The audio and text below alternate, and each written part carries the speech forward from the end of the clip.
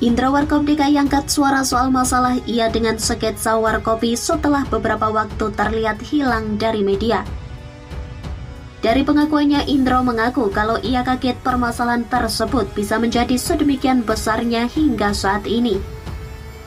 Tetapi kini Indro memilih untuk lebih diam terkait permasalahannya tersebut dengan manajemen ataupun anggota sketsa Warkopi. Hal ini dikarenakan ia kasihan pada masa depan tiga pemuda mirip Warkop DKI tersebut dan manajemennya yang bisa terancam di masa depan. Dirjen Haki sempat ngomong kalau tindakan mereka itu salah. Yang gua kaget terus terang ya, makanya sekarang gua lebih milih diam. Ternyata ada efek pidana. Gua pikir adanya perdata doang. Ucap Intro Warkop dalam podcast Deddy Corbuzier pada Kamis 30 September 2021. Indra juga menyatakan dari hasil yang ia baca, seluruh pihak yang terlibat di sketsa Warkopi, baik tiga pemuda ataupun manajemennya bisa kena penjara hingga empat tahun lamanya.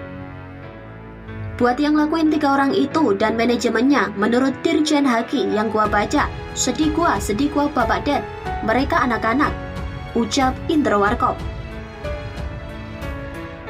Karena hal tersebut Indro pun mengaku kini akan lebih diam terkait permasalahannya tersebut dengan sketsa Warkopi. Sebelumnya diketahui, beberapa hari yang lalu Direktorat Jenderal Kekayaan Intelektual memberikan tanggapannya terkait permasalahan Indro dengan sketsa Warkopi tersebut. Direktur Jenderal Kekayaan Intelektual atau Dirjen KI Freddy Haris menjelaskan kalau yang dilakukan oleh sketsa warkopi tersebut merupakan pelanggaran dan bisa dikenai hukuman pidana. Dikutip dan dirangkum dari pikiranrakyat.com.